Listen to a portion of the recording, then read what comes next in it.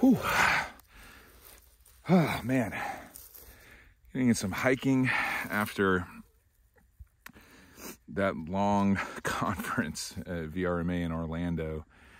We went full tilt, no doubt. And um, so anytime I've, and I've been on the road like three weeks at a client's place, helping them get onboarded and launched and Disney World with the fam a little bit, conference, a thousand sales pitches, a hundred vodka sodas later, I got to come up to the mountains to take a break.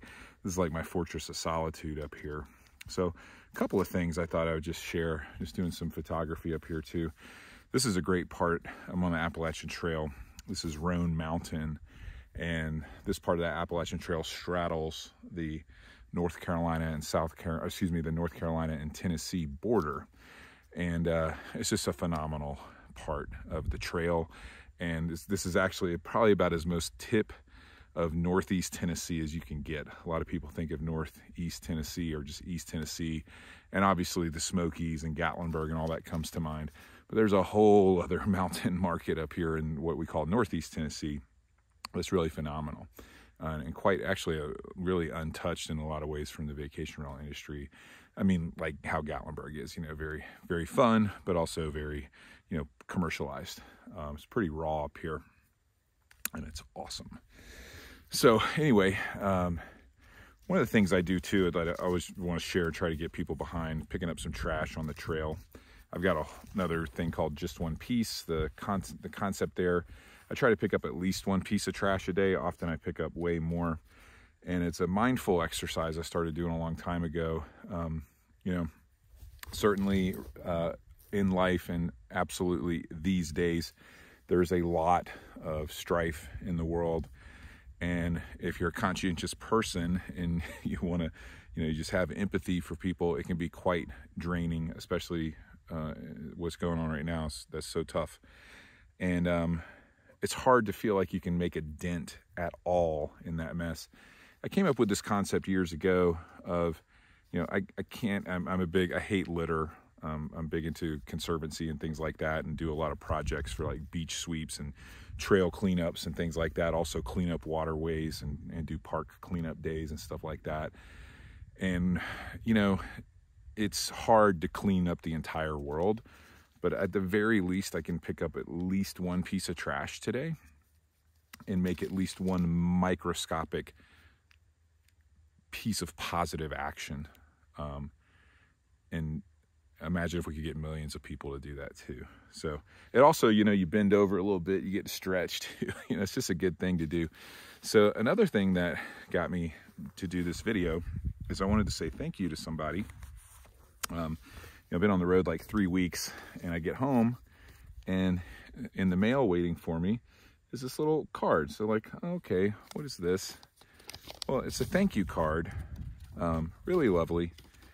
Handwritten, a handwritten thank you card. Um, and it's just, this is Andrew and Megan. Um, they've got a couple different brands, Pond Life or Cash Street Technologies. They also do this couples wealth retreat. You should check it out. Google couples wealth retreat or like go to coupleswealthretreat.com or pondlife.com. They're, they're uh, vacation rental property owners and hosts and managers and uh, they got some lovely properties up in New Hampshire. And uh, I'm actually will be seeing them again soon at another conference uh, coming up in Vermont. And um, they had this couples wealth retreat thing, right? So basically, it's like a four-day thing. They get five or six couples together. They rent a dope house or cabin somewhere, and they do it at different places. Really great concept. And you know, they just talk about they do yoga every morning, healthy eating go out hiking and do local stuff. They they they uh, but then they talk about you know your business and how to grow wealth and also you know practical things of you know what's your survivorship look like legally? Have you got have you touched on those things? What's your insurance look like? Where are your liabilities at? What what's motivating you? What's working for you? And share and network. It's just awesome. And for just $200 they had the coffee sponsorship available. And i had met them at another conference and i was like you know what? I didn't even think about it. I just said sure uh, we'll sponsor that with Guesty. Um, I just paid for it out of my own pocket or whatever for the coffee sponsorship. And then they're so awesome. They rented this huge, like 10 bedroom, really, excuse me, cool cabin in Gatlinburg, and they had a couple. Of, they had like two extra rooms, and I went by to do the coffee thing with them, hung out. I talked a little bit about some advocacy things and also what I see working for people out there in the field these days, post COVID, stuff like that. And they invited me, you know, like we went to dinner and they're like, why don't you just stay tonight? We're going to do a campfire thing, whatever. We got an extra room. And these are like nice. Every room's like ensuite bathroom, like really a dope cabin for a big event. And I spent the night. We got to know, I mean, it was just great. Did yoga with them the next morning. It was just totally awesome. Great people. And just a handwritten thank you card. Let me tell you what, I will always like and share the content that they post. I will always, when humanly possible, go to their events. I will always welcome them to anything cool that I'm doing. And I will, if I'm ever going to that part of the country or anywhere where they've got a property, I will absolutely stay at their property. And I just wanted to share that like that. This is so sadly rare these days in our ClickFunnels CRM world of whatever, you know, and big associations and events and scanning badges and all these things. This is real. I made some real connections hanging out with these people. And don't get me wrong, VRMA was great. I thought it was way better this year, by the way. Let's shift gears there a little bit. I thought it was way better than Vegas last year. Please don't do Vegas again. We can go to Vegas on our own. you know, Vegas is not a great place to conduct business like that.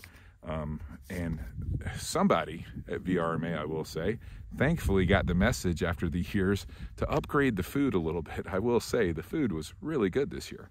Um, breakfast and everything. Breakfast with actual protein. It was fascinating. Um, anyway, I'm not ripping on it too bad. I think I think it was great. I think VRMA this year was a success. I'll finish this quick little video if you watch this far. Thank you.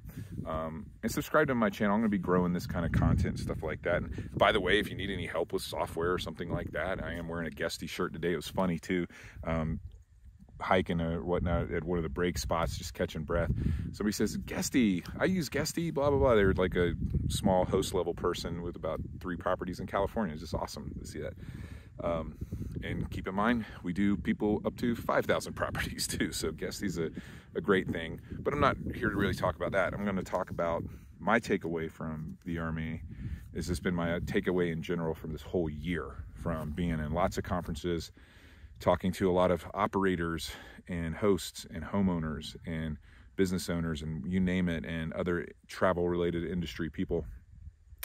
The takeaway that that you need to like live and breathe is if you're representing quality products, be that a house or uh, you know a campground or a software or a service or whatever, if it's quality, you got really no problems. Just apply that and, and get to work. If you're in the commodity business, you better watch out. You think this year was bad? Next year's going to be way worse, in my opinion, and that's what the things are trending to you know, and what's what's the commodity business in the vacation rental space? You know, that's a two bedroom condo in Myrtle Beach or PCB or Gatlinburg that hasn't been updated in 10 years and looks like a lost episode of the Golden Girls or something. That's a commodity product. You're at the bottom of the barrel. You're competing against the ruthless hotel industry that's come out with very nice products in the last uh, couple of years, and they're they're you're just not going to win that price battle. You will be at 50% occupancy of what you were used to. Um, got to be unique. Got to represent quality. There's just you know, and you'll be fine. Another takeaway is, uh, you know, you'll hear it over and over again, but listen, advocacy stuff is real. I mean, I, you, I can't believe some of the people that I still were talking to that were like, well, no, we're not too worried about it in our market. Um, you know, I'm not trying to make fun of them. I'm just trying to shake them and wake them up like, no, you're exactly the people that they're coming after. So like, wake up. It is happening everywhere and no one's immune to it. Get activated and get engaged. I would say the third thing too, to probably that was my biggest takeaway was, man, there is a lot of changeover happening in the tech and the vendor space too. And I don't know, I just, I've seen some amazing things, some great ideas rising to the top. And I just see some things that's just like, I didn't think there was room in the market for yet another one of these things. And I, that's about multiple categories. So I won't even niche down into what their product or service tries to do. But my takeaway is, you know, um, things are going to get as just like there's more inventory in the market and less travel demand, there's more products and services than ever, which is a good thing because if the you know the cream will rise to the top. I would just say that it's fascinating watching it all go down and the amount of money, the amounts of venture capital still coming into our industry is breathtaking and encouraging. And I would just say people that are growing teams with talented people with great ideas and zealotous passion are going to have an amazing 2024. I'll just leave it at that. Uh, if you watched the video this far, thank you. I'm going to do a little spin around here just to show you guys this spot. It is spectacular. The other side of that hill is pretty good too, but just this view here, it's just unreal. Again, this is the Roan Mountain um, right outside, based not too far from Asheville, actually. About a, maybe an hour drive or so, something like that, if you're ever in the area. Later.